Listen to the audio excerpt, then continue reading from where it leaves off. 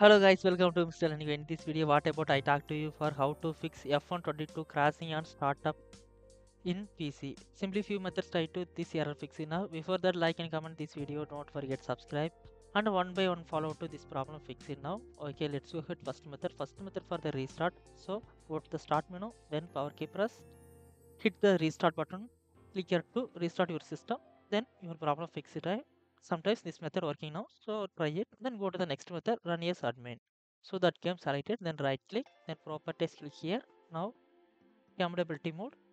Then compatibility mode selected. Below run this program as administrator selected. Hit the apply.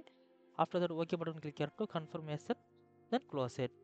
Then one time refresh the system then go to the next method then power saving mode. So go to that settings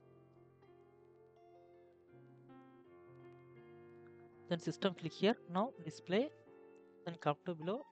Graphics selected. Then find that game. Then go to F1 22 expand. Now let's window decide then power saving mode selected. After that refresh the your system. Again check it that game.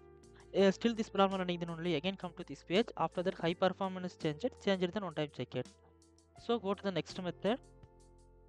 Then nvidia amd graphics checking. So search for type that NVIDIA control panel. Now open it. Open it then go to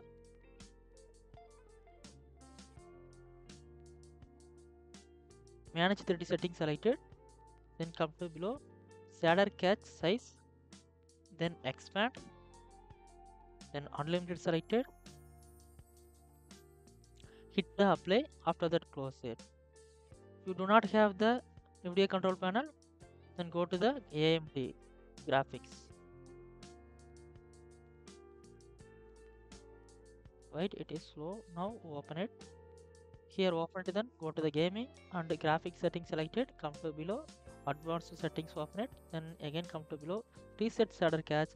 Here click here. Now ok button click here to confirmation then close it. Again refresh the your system then go to the next method. Still this problem running only.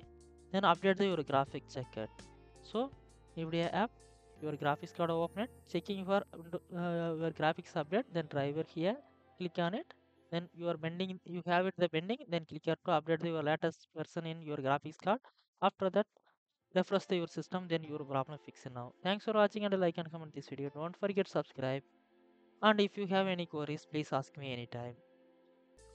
And i am waiting for your feedback